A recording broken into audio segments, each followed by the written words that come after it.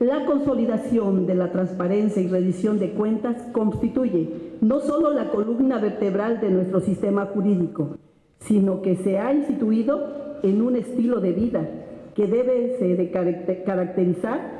para la construcción de la gobernabilidad en la que todos estamos trabajando y tenemos compromiso. Sustentada siempre en la confianza ciudadana, pues se debe de dar paso a nuevos usos que terminen con arbitrariedades e impunidades que la sociedad rechaza desde siempre. La sexagésima segunda legislatura del Estado de Guerrero también le da a ustedes la más cordial bienvenida, convencidos de que este encuentro habrá de servir para reflexionar, para analizar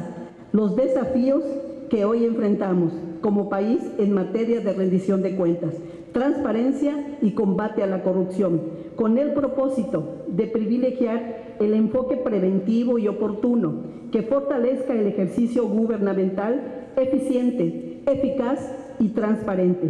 y con ello mejorar sustancialmente la rendición de cuentas. Como legisladores, reconocemos la amplia disposición del licenciado Héctor Astudillo Flores, gobernador constitucional del Estado, por contribuir a que la transparencia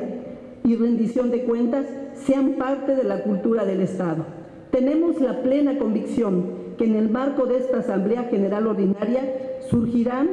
nuevas y mejores opciones que permitan responder con altura de miras a la creciente necesidad de cambio y ajuste y reordenamiento que nos reclama la ciudadanía en los tres ámbitos de gobierno.